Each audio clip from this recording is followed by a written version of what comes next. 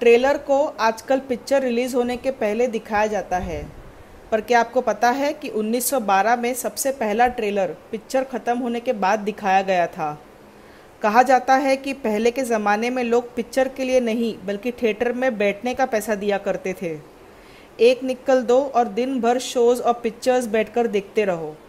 एक पिक्चर के ख़त्म होने के बाद लोग चले ना जाए और अपनी सीट पर ही बैठे रहे।